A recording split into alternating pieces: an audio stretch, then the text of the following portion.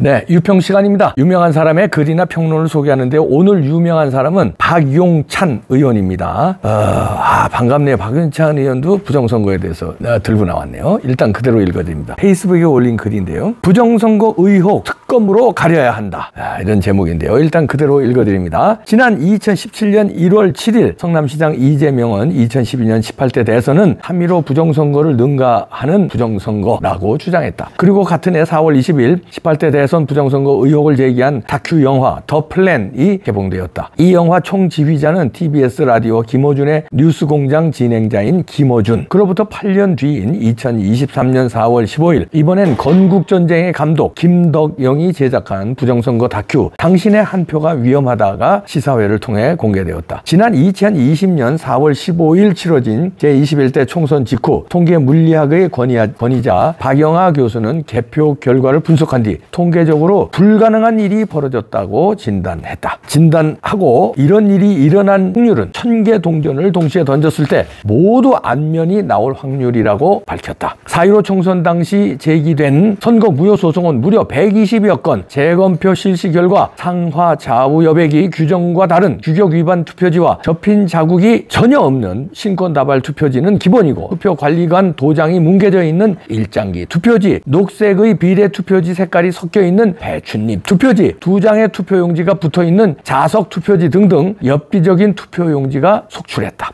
이렇게 이상한 투표용지가 무수히 나왔지만 선거 무효 소송을 담당한 대법원은 180일 이내에 처리하도록 규정된 공직선거법을 정면으로 어기며 질질 끌다가 단 한 장의 투표지도 감정하지 않은 채 모두 기각 판결을 내렸다. 특히 22곳에 대한 선거 무효 소송의 경우 증거 보존된 투표함을 열어보지도 않고 기각 판결을 내렸다. 대한민국 대법원이 이 른바 관심법으로 판결했다는 비판이 제기되었다. 검찰 역시 수십 건의 고소, 고발을 접, 접수받고도 움직이지 않았다. 지난 2022년 제20대 대선에선 이른바 소쿠리 투표 사건이 터지더니 급기야 2023년 10월 10일 국가정보원은 한긋 한국인터넷진흥원 등과 합동 보안 점검을 벌인 결과 통상적인 해킹 수업으로도 얼마든지 선거의 명부와 개표 결과를 조작할 수 있다는 조사 결과를 내놓았다. 충격적인 뉴스는 여기서 그치지 않는다. 지난 2024년 5월 선관위의 부정 채용이 최근 10년간 1200건이나 된다는 감사원의 감사 결과가 발표되었다. 2024년 4월 10일 치러진 제22대 총선 이후에도 관내 사전투표 등 사전투표를 둘러싼 갖가지 의혹이 끊임없이 제기되고 있다. 부정선거 의혹을 밝혀달라는 이른바 블랙 시위는 지금도 계속되고 있지만 선관위는 자신들이 헌법기관이라며 감사원의 직무감찰을 거부했으며 검찰과 경찰은 물론 정치권과 언론, 대통령실도 마치 최면에 걸린 듯 침묵하고 있다. 저렇게 이상한 일들이 끊임없이 발생했건만 마치 아무 일도 없었던 것처럼 이렇게 가만히 있어도 되는 것일까? 민주주의의 근간 중 근간인 선거 시스템이 이토록 오랜 세월 불신받고 있건만 아무런 조치를 취하지 않아도 괜찮은 것일까? 선거의 공정성과 투명성은 아무리 강조해도 지나침이 없는 민주주의의 생명줄이다. 선거에 대한 국민적 신뢰가 흔들린다면 이것은 민주주의의 위기로 이어질 것이다. 부정선거 의혹은 황교안과 민경욱은 물론 이재명과 김 어준도 제기한 사안인 만큼 그 누구도 부인할 수 없는 국가의 중대사라고 해도 과언이 아닐 것이다. 요즘 정치권에서 특검이 확산되고 있다. 최상병 특검, 김건희 특검, 김정숙 특검 등등 여기저기서 특검 러시가 진행되고 있다. 모르긴 몰라도 부정선거 의혹은 김건희 특검이나 김정숙 건보다 더욱더 중요하고도 절박한 사안일 것이다. 부정선거 의혹은 껌으로 풀어야 한다. 대법원도 검찰도 경찰도 규명 의지가 없는 것으로 판명됐으니 특검 말고는 달리 방법이 없지 않 겠는가? 정말 부정선거인지 아니면 단순한 관리 부실인지 우리 국민이 앞으로 마음 놓고 투표장으로 갈 수 있도록 컴으로 시시비비를 가려야 한다. 이렇게 아, 박용찬 의원이 부정선거에 대해서 아, 너무나 그 여러 가지 자세하게 페이스북에 쓰면서 특검으로 가리자고 했네요. 네, 반갑습니다. 박용찬 의원님. 그러니까 현역 의원으로는 김민전 의원에 이어서 박용찬 의원이 들고 나왔네요. 김민전 의원이 부정선거 들고 나올 때참 아, 너무나 반가워서 참 눈물 날 지경이었고 박수를 치면서 환호하면서 논평을 제가 여러 번 했었는데요. 김민전 의원에 이어서 박용찬 의원. 근데 의미 있는 건 김민전 의원은 첫 번째 현역 의원이 주장한 거에 대해서 큰 의미가 있고 박용찬 의원은 지역구 의원이라는데 의미가 있습니다. 김민전 의원은 비례대표 의원이었어요. 그러나 이제 너무 중요하게 처음 들고 나왔다는 거 용기 박수 또 칩니다.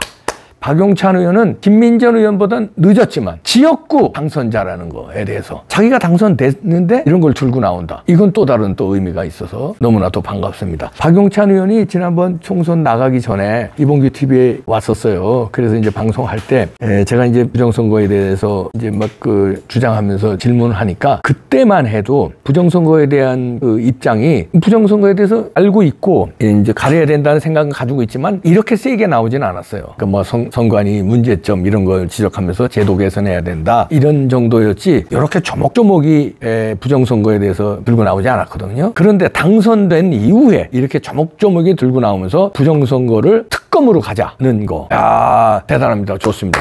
자, 이분이 이번에 최고위원에 도전하는데요. 지금 상황이 많이 바뀐 것 같습니다. 일단 당대표 선거에 나가는 네 명 중에 한동훈 빼놓고 세명이 부정선거를 들고 나왔어요. 두명은 적극적으로 윤상현 일 처음에 적극적으로 들고 나왔고요. 국정조사하자, 청문회하자, 제도 개선하자 이렇게 나왔고 그 이어서 바로 원희룡 후보가 부정선거 조목조목 또 세게 들고 나왔어요. 나경원 후보는 어 약간 미지근하면서도 제도 개선하자 하면서 어떻든 부정선거에 대해서 들고 나왔어요. 한동훈만 지금 입을 닫고 있습니다. 자, 네 명 중에 세 명이 들고 나왔다. 근데 제가 조심스럽게 얘기하는데 그 이번에 한동훈이 당선되기 어려울 수도 있습니다. 왜냐하면 이게 결선 투표로 가면은요 한동훈이 올라가고 나머지 이제 누가 한 사람 좀 올라가잖아요. 근데 나머지 세 명이 다 생각이 같은 사람이에요. 일단 크게 두 가지 생각이 같습니다. 차상병 특검 하면은 안 된다는 게 나머지 세 명 갖고 차상병 특검 발의하자는 게 윤, 어, 한동훈이에요. 그러니까 여기에 갖고 부정선거 나머지 세 명이 다 들고 나왔는데 들고 나왔다. 그리고 나머지 세 명은 그래도 윤석열 대통령을까지 어느 정도는 지켜야 된다는 거거든요. 친윤이냐 비윤이냐는 조금 있지만 한동훈처럼 윤석열의 반윤은 아니거든요. 그러니까 여러 가지 사안으로 봐서 셋이 뭉치기가 쉽다. 그렇다면 결선 투표 가면은 한동훈이 질 확률이 높아졌다 이렇게 봅니다. 심지어는 결선 투표 안 가고 원희룡이 이길 수 있다 이런 분석도 나오고 있습니다. 자, 그 뚜껑 열어봐야 할 텐데 자 이렇게 되면은 당 대표가 어, 원희룡이 만약에 된다면 부정선거 밝힌다고 그랬어요. 약속했습니다. 그리고 자기가 공공연하게 선포했고. 했고요. 자, 그렇죠. 최고위원에 나가는 이 박용찬 이분을 비롯해서 김민전 의원도 최고위원에 나갑니다. 그러면 김민전 의원은 거의 지금 당선된 거나 마찬가지예요. 왜냐면 여성이기 때문에 여성 한 명은 되게 돼 있거든요. 그러면 뭐된 거나 마찬가지다 이렇게 볼 수 있습니다. 그러면 박용찬 의원이 되게 되면 만약에 될지 안 될지 모르지만 되게 되면 김민전 확실하죠. 부정선거 밝히는 거. 박용찬. 그 다음에 당대표가 원희룡이면 뭐 이렇게 되고 지금 청년 최고위원회 도전하는 김소연 변호사 이봉규 TV에 뭐 매주 고정으로 방송하죠. 이 부정선거 밝히는데 그동안에 앞장서 온 사람이에요. 부정선거 밝히는 팀의 변호인으로 활동했던 사람이고 뭐 방송으로도 뭐 수태 부정선거 뭐 주장했고 실제로 부정선거와 맞서 싸운 사람입니다. 말이 아닌 법으로 행동으로 맞서 싸운 사람이에요. 자 김소연 변호사 청년 최고위 지금 가능성이 가장 높은 후보라고 그래요. 자 이렇게 되면 청년 그리고 또 다른 청년 최고의 김정식 군도 부정선거를 좀 주장하고 있습니다. 그러면 청년 최고의 유력한 김소연, 김정식이 부정선거 주장하죠. 최고위원회 김민전, 박용찬 부정선거 밝히자 특검으로 가자 얘기하죠. 자 당대표가 원희룡이 된다. 될 가능성이 지금 가장 높은데 이렇게 되면 어떻게 되겠습니까? 특검 밀어붙이죠. 국정조사 밀어붙이죠. 청문회 밀어붙이죠. 이제 달라졌어요 상황이. 야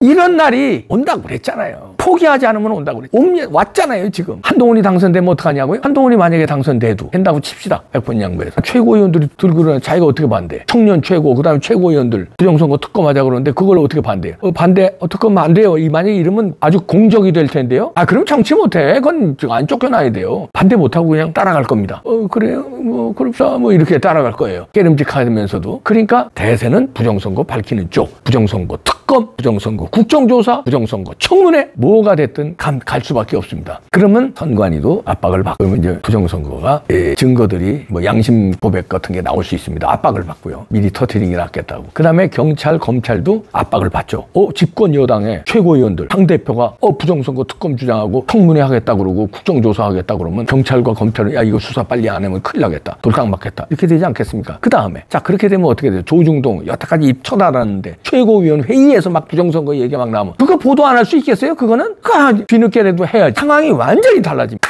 완전히 뒤집어졌습니다. 이번 국힘당 당대표 선거는 이래서 우리가 관심을 가져야 돼요. 부정선거 때문에. 다른 건 뭐 아유 그나물에 그 밥이죠. 사실. 그러나 부정선거는 중요한 이슈가 이게 터졌기 때문에 관심을 가져야 돼. 이것 때문에 이제 달라집니다. 부정선거 밝혀집니다. 아 우리가 이긴다니까요. 시간이 지체된 것 뿐이에요. 아 이게요.